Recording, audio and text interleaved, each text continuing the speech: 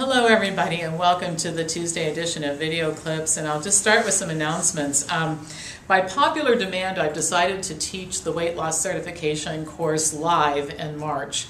Um, I think it makes for better filming if I teach it live before I put it on a video platform anyway and people always like being part of that first group where they get to ask me questions during the class and all that sort of thing. So if you are interested in taking the weight loss certification course, get in touch with us right away. We'll tell you what that involves and um, get you signed up for that. Uh, another thing, um, we have a whole lot of other certification courses. Don't forget about our fabulous vaccine course, which some of you, many of you probably haven't taken yet. Food Over Medicine certification course, Women's Health certification course, all kinds of things to help you be better uh, if you're in the business of helping other people to improve their health. So uh, let's get right down to the topics today. I've chosen constipation as the first topic. Um, one major challenge in improving public health, I think, is that it has become normal to have symptoms of illness. And so I think one of the things that happens is people look around and they see all kinds of other people who are suffering from the same conditions that they are and say, well, you know, this must be normal and I maybe shouldn't take it so seriously. And that's certainly the case for constipation. You can watch television for a half hour and see what the common diseases are because you'll see ads for drugs to treat them. Watch TV for a half hour and you will see ads for laxatives for constipation, probiotics to help constipation, and even drugs to help with constipation. It's easy to see how people might think constipation is just one of those things everybody suffers from and um, not something to be worried about. Well, it is common. Uh, about 15% of all adults suffer from chronic constipation and millions suffer from it occasionally. But according to a presentation delivered to the American College of Gastroenterology in 2015, chronically constipated people are at very, very high risk of some very serious diseases. Researchers led by Lauren Gerson, MD, looked at the records of over 12,000 adults between the ages of 18 and 50 who were treated for chronic constipation. They were matched with an equal number of controls who were not constipated.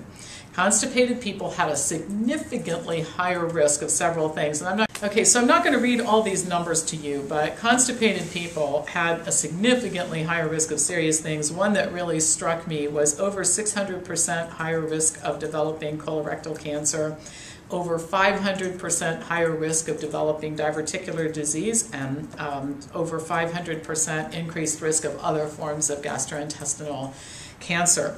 Dr. Gerson stated that the associations weren't new. That was not what was surprising about this particular analysis, but that constipated patients um, had so much higher risk than what they thought before. And uh, she said that in light of this, that um, constipated patients, even if they don't have any red flag symptoms like gastrointestinal bleeding or anemia or weight loss, should all be uh, tested for more serious disease. Now, what I thought was interesting about this, I guess this doesn't surprise me anymore, but none of the notes of the meeting included recommendations to adopt a high fiber plant based diet and drink 64 ounces of water every day. Instead, the researchers talked about the need to subject constipated patients to more tests. And this blew my mind, and to analyze the data for more clues as to the risks of remaining constipated. Why would we not take all that energy and invest it in teaching people how to not be constipated. And they don't need drugs and laxatives.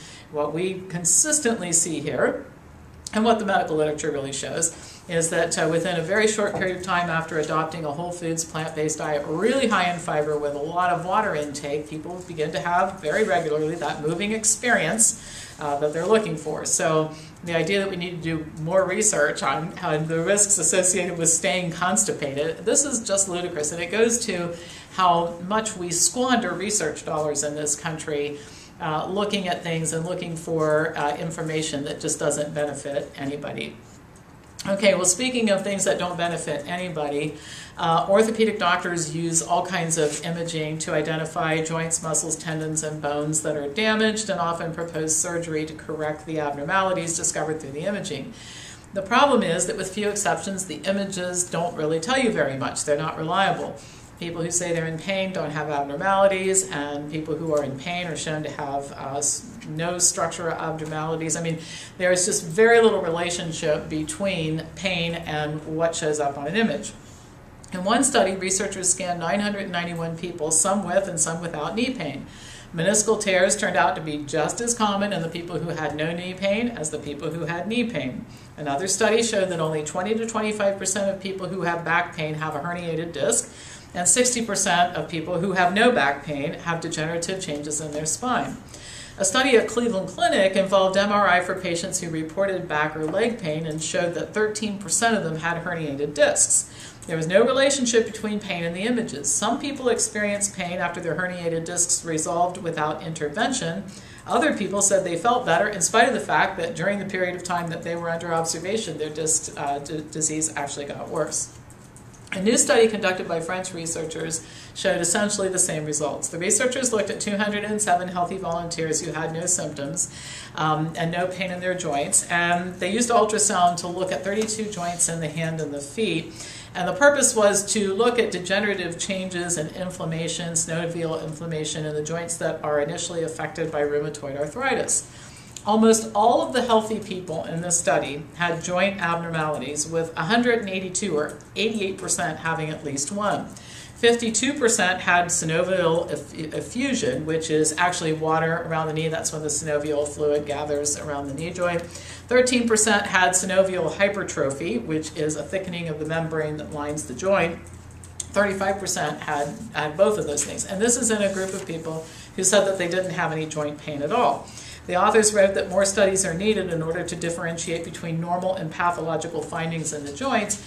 And um, what really is important here is that what is deemed pathological is subject to interpretation. In other words, if you if you take healthy people and line them up and do enough imaging of joints and, and tendons and that sort of thing, you're going to find abnormalities. Whether or not this is something worth knowing is entirely different until the types of studies are conducted to show that a certain type of imaging or looking for particular things has some value, I think the important thing is we just have to warn people that uh, if they're experiencing pain, the images are not likely to tell them much, unless, of course, there's always exceptions to the rule, unless, of course, you're dealing with an individual who has a broken bone. I mean, I totally understand getting images for that person who has to have um, actually necessary surgery, but for the, the average person who shows up in a doctor's office and says, my knee hurts, my ankle hurts, my hip hurts, or my back hurts, images are not particularly reliable. Many times, being overweight, being sedentary, eating an inflammatory diet, posture, and how the, the joints are tracking and functioning is likely to be the contributing cause. Um, surgery won't help with any of those things that I just mentioned. What really helps is the right type of exercise, the right type of physical therapy, the right type of diet, and weight loss. So anyway, just be careful. I have friends who are orthopedic surgeons who um, who say that the vast majority of the time what people need is not surgery they need to pay attention to their diet, lifestyle, and weight loss. So that's all for today. As usual, pass this on to anybody who you think might enjoy watching it, and I will be back to you on Thursday with more news.